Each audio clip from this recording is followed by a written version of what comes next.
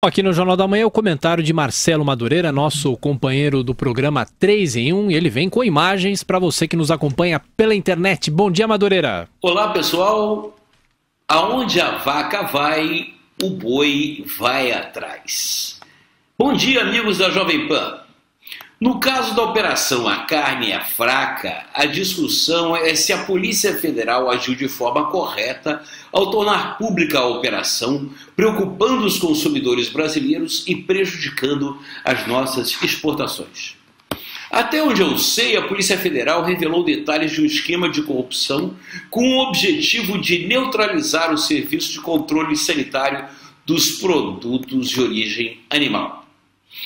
O referido esquema contava ou conta ainda com a participação de altos funcionários dos órgãos dedicados a este tipo de fiscalização.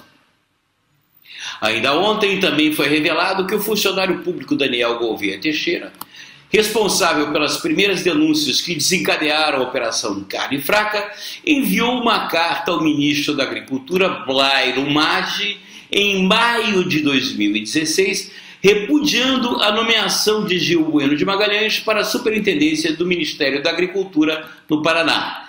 Gil Bueno é um dos indiciados da operação. O ministro Blairo Maggi nada fez para cancelar a nomeação. E o resto é conversa para boi dormir.